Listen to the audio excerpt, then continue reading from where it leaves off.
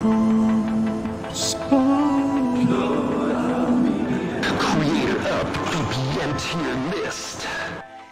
what's going on guys? My name is Tom Spark. Welcome back to another video.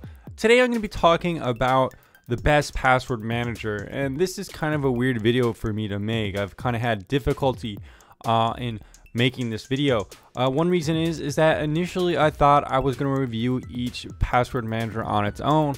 I was going to make a tier list. I was going to go through them, review them all. But as I was doing so, I kind of felt like it was a little bit pointless. The reason is is because a lot of password managers are pretty similar. Um, some of the leading ones like LastPass and 1Password for example have pretty similar pricing structures around $36 a year and for most intents and purposes they almost work exactly the same. Pretty much the same with Dashlane as well. So if I were to rate a lot of these kind of three password managers, some of the biggest ones, some of the other ones, a lot of them would get pretty similar ratings with hardly any difference. And now with my VPN reviews, that's not always the case. Often there is huge disparities in pricing between a lot of VPNs. Often a lot of VPNs get a lot of press, a lot of VPNs don't. There's more complexity and depth to reviewing VPNs that I've discovered over the years that makes it so easy to review and talk about them.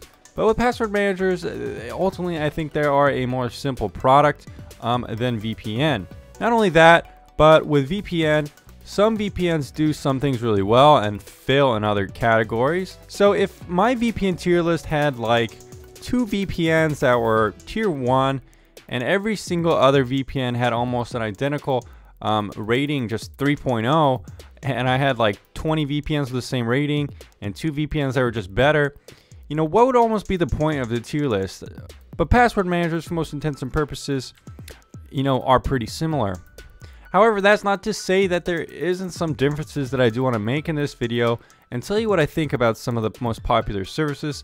And later on, I'm going to recommend two of the best services I think that you should check out. Firstly, I want to talk about 1Password. And now this is a pretty respectable password manager. It has a pretty good reputation. Initially, it was known for being a really good Mac password, and a lot of people who like Macs and Apple products do use 1Password. Um, it has a really good layout on most devices and it's really easy to use. It's kind of more minimalistically designed, kind of similar to, you know, Apple's design itself.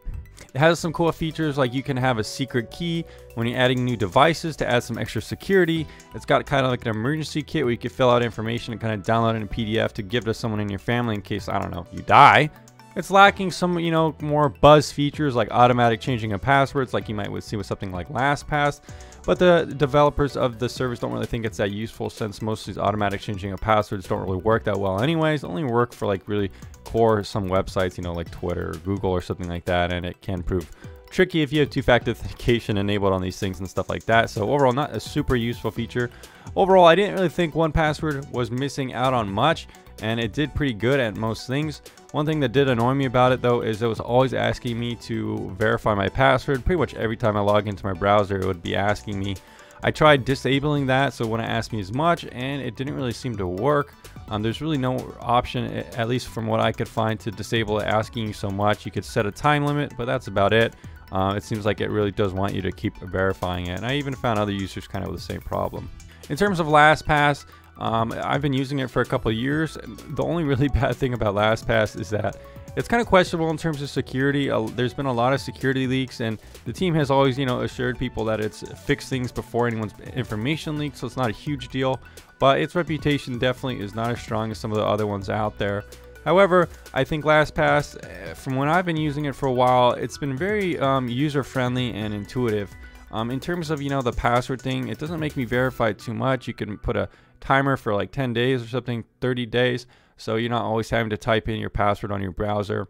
Um, their their customer support has been good. There's been a couple times where I lost my two-factor authentication and I could get back in and you know verify my account and so forth with LastPass. So I like their customer support and overall the applications have been pretty good. They've gotten better. The interface is good as well, and it was overall just a pretty solid service that I didn't really have any problems with. Besides you know the reputation and you know it keeps happening a couple years. Uh, even one recently happened and a couple years ago and another couple years.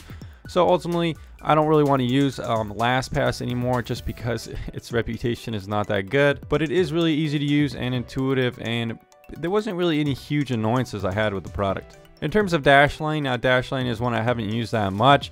I've tried to use it, but I've found a lot of annoying things on their website. Take for example, there's no forgot password feature, which make it what made it really hard for me to create an account because I, I lost my password somehow. So switching password managers around, testing out things, and I couldn't figure out how to forget my password. I would have to make a new account, but then I had to make a new email, and it got really confusing. So I just kind of got annoyed at that part of the process.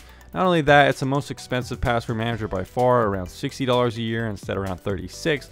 It kind of tries to bundle in things to make it worth the purchase. It kind of reminds me of how antivirus companies kind of bundle in different things with antivirus to make it more of a like attractive bundled purchase so they can make more margins. Kind of a little bit, I'm not a huge fan of that to be honest. I've also noticed some problems with their website, like I was looking into their affiliations and things like that, and it wouldn't let me submit the form with you know different kind of add-ons I had blocking tracking and stuff like that so that was a little bit annoying also account creation for Dashlane feels a little convoluted you're having to download stuff right away and sign up and everything like that so that's a little bit of annoying in terms of the free trials though Dashlane and LastPass have one 1Password didn't but you know LastPass and 1Password are 36 and Dashlane was around $60 now there are a couple other different password managers out there like Keeper and a sticky password or something.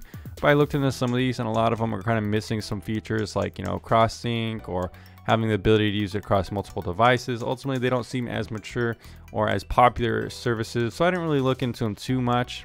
But now to the best ones um, that you should probably be using. Um, there are two options here, I think. Now, KeePass is one of the most popular uh, password managers in terms of you know operational security it's probably going to be the best kind of security that doesn't have any potential leaks um, the way it works is that it's like all encrypted on your computer and stuff like that not so much in the cloud now you could put it in the cloud through dropbox or something to sync across devices Uh, but ultimately i think KeePass while it might be the best in terms of operational security and just you know brute force security it's not that user friendly even the website itself looks very clunky and most people who use it are pretty familiar and you know good with computers and technical applications and stuff like that. It's definitely you know has a learning curve and the applications itself aren't like you know developed by the company.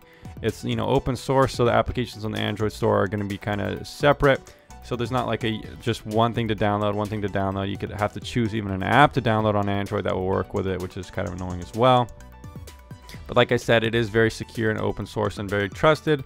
So if you're someone who has more technical knowledge and patience and don't really mind the learning curve, this might be a good product for you, or you probably already heard of KeePass as well. Now, another one that is personally going to be the one I'm going to be checking out for a while and I really like is going to be Bitwarden. Now, Bitwarden is a free service with an upgradable model um, that gives you features like two-factor authentication and just a bit more security and stuff like that. You can test out the free model, then move to the paid model. And the good thing about Bitwarden that makes it so much better than some of the other services is that it's only $10 a year compared to $36 a year from the other services. It's quite a better deal, uh, especially when compared to something like Dashlane. It's not going to try to give you these extra services just to ramp up the price. It's a core password manager. And now it pretty much has all the same features from the other applications as well. It syncs across multiple devices. It has, you know, fingerprint support. It has autofill. Now, it lacks a little bit of the polish and, you know, pizzazz maybe some of these other applications. Like, for example, when you're clicking on something, it's just kind of like, kind of like old school, like little you'll see what I mean right here. It's it's not quite as intuitive as clicking on a little icon and just having the interface of the password manager show it to you. So probably eventually they might make that look a little bit better. But you know, there are some advantages. You could see more accounts at once if you have multiple accounts for a service so that's kind of cool but it does definitely not feel as premium in that sense and I've found a couple of other little bugs as well with Bitwarden like the verify email bug um, it just wanted me to verify my email I already did and it was just kind of like a visual bug just showing that I hadn't verified it yet even when I had but Bitwarden does have a lot of cool things about it a lot of cool features that are pretty much what you need for a password manager a couple things like that no lock button Remember before I was talking about how some of the password managers would keep asking me to verify.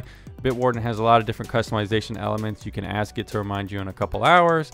So I was kind of confused about the way Bitwarden does it is because they have an option that, you know, when your system is locked, but basically what it means by the system is the browser itself. And I found a thread where people were discussing it um, and, you know, the possible options. Bitwarden says there's some kind of API restriction um, not being able to do it any other way. So you can either have it re-verify every time you open your browser, or you know every four hours or so if you keep your browser open, um, or if you close and reopen it, you're always going to have to input your password.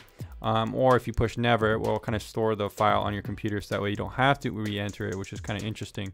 Um, but something like LastPass had an interesting solution. It would do it for, you know, 30 days or something like that. Maybe it was temporarily putting it on your computer or something like that as well.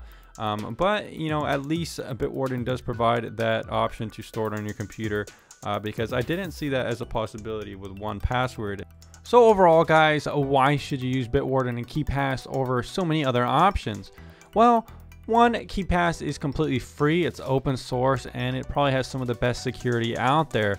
Now, it's not going to have that cloud kind of sync across devices unless you go to the hassle of having a Dropbox file and everything like that with your keys stored. Um, and that is where Bitwarden comes in because it's also another really good option that's more intuitive and user friendly. It's also had third party audits and stuff like that, as well as open source design, and it's really trusted in the community. And it's so much cheaper than some of the other options, only around $10 a year instead of 30 to $60 like some other options. Not only that, pretty much gives you all the same features and even some more features to boot than some of the other options out there. Anyways, guys, let me know if you like this video.